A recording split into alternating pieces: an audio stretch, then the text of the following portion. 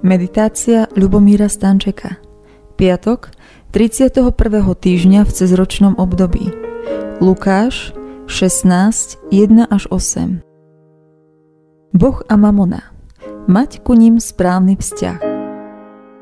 Poviedka rozpráva o bohatom sedliakovi, ktorý keď umieral, mal výčitky svedomia a preto povedal žene. Mal som sa dobre, škoda len, že idem na druhý svet a zabudol som na chudobných. Sľub, že urobíš, čo poviem. Predáš najlepšieho konia a peniaze rozdáš chudobným. Po smrti sedliaka žena išla na jarmok a predala konia za 100 eur s podmienkou, že kupec kúpi aj sedlo za 20 tisíc eur. Kupci sa čudovali, ale jeden kúpil. Žena potom 100 eur rozdala chudobným a peniaze za sedlo si ponechala. Bola šikovná? Ježiš hovorí, nemôžete slúžiť aj Bohu, aj mamone. Začias Krista a aj dnes nechýbajú chytrí ľudia, prešibanci, kombinátori, ba dokonca klamári, podvodníci či defraudanti.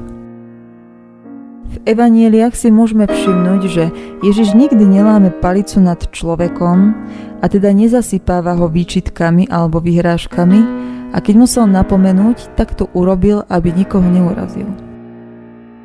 Tak je to aj v prípade správcu, ktorý svojmu pánovi rozhadzoval majetok a predsa ho nakoniec pán pochválil.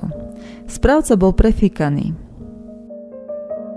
Vo chvíli, keď ako obžalovaný má vydať počet zo svojho šafárenia, si kladie otázku, čo má robiť a zároveň premýšľa, aby si zabezpečil jemu slušnú budúcnosť.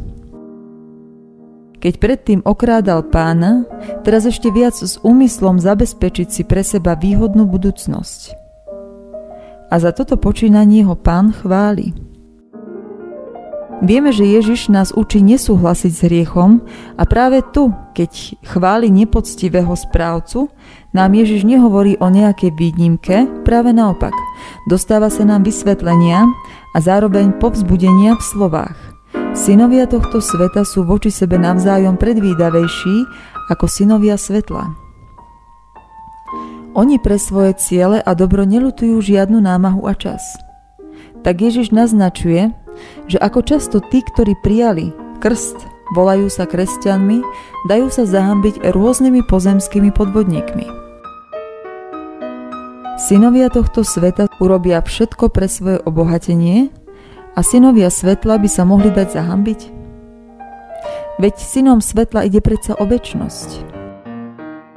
Je to výzva pre kresťanov, aby boli oveľa viac pohotovejší, keď sa jedná o hodnoty, ktoré nemôže mol zožrať, hrdza zničiť či zlodej ukradnúť. Tým Ježiš poukazuje, aby sme veciam, ktoré budú odmenené vo väčšnosti, venovali viac pozornosti, nebali sa námach, straty času aby sme boli skutočne správcami, ktorých čaká odmena a pochvala a nie zahambenie alebo trest. V tom zmysle je potrebné chápať slova Robte si priateľov z nespravodlivej mamony, aby vás, až sa pominie, prijali do väčšných príbytkov. Ježiš vyslovne nespomína smrť a predsa jasne naznačuje, aby človek, ktorý uveril v hodnoty Božie, využil všetko pominutelné na získanie hodnot väčšných. Boh nám nariadil podmaniť si a naplniť zem, vládnuť nad rybami, táctvom i zverou zeme.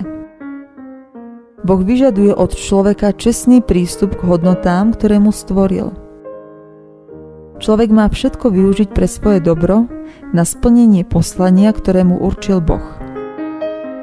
A tak chápeme slova – kto je verný v najmenšom, je verný aj vo veľkom. A kto je nepoctivý v malom, je nepoctivý aj vo veľkom. Amen.